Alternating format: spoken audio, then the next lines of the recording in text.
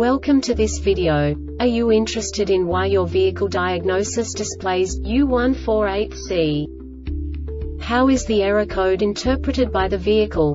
What does U148C mean, or how to correct this fault?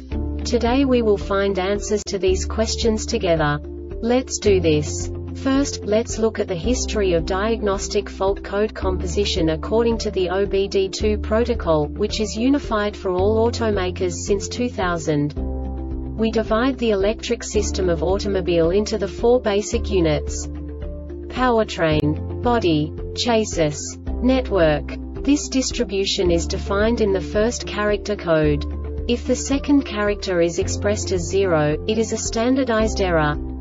In the case of numbers 1, 2, 3 it is a more prestigious expression of the car-specific error. The third character specifies a subset of errors. The distribution shown is valid only for the standardized DTC code. Only the last two characters define the specific fault of the group. Let's not forget that such a division is valid only if the other character code is expressed by the number 0. Our website airbagreset.sk produces useful videos for you. You do not have to go through the OBD2 protocol anymore to know how to troubleshoot any car breakdown. You will find all the diagnostic codes that can be diagnosed in a Jeep vehicles. Also many other useful things. The following demonstration will help you look into the world of software for car control units.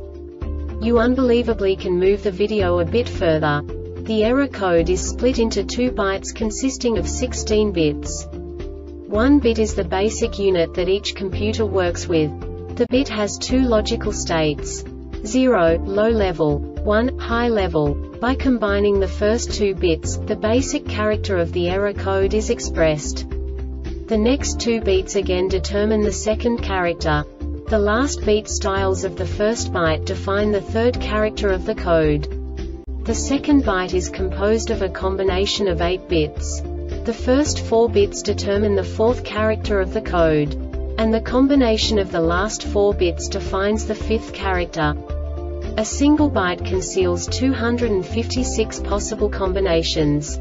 We now know in what way the diagnostic tool translates the received information into a more comprehensible format. The number itself does not make sense to us if we cannot assign information about it to what it actually expresses.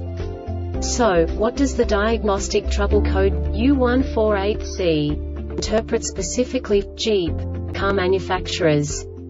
The basic definition is PCM internal controller checksum error. And now this is a short description of this DTC code. Key on or engine running for 1 second, and the PCM detected an internal checksum data error during the initial self-test. This diagnostic error occurs most often in these cases. Clear the trouble codes and retest for this trouble code if the same trouble code resets, the PCM has failed and must be replaced to repair this problem. The Airbag Reset website aims to provide information in 52 languages. Thank you for your attention and stay tuned for the next video.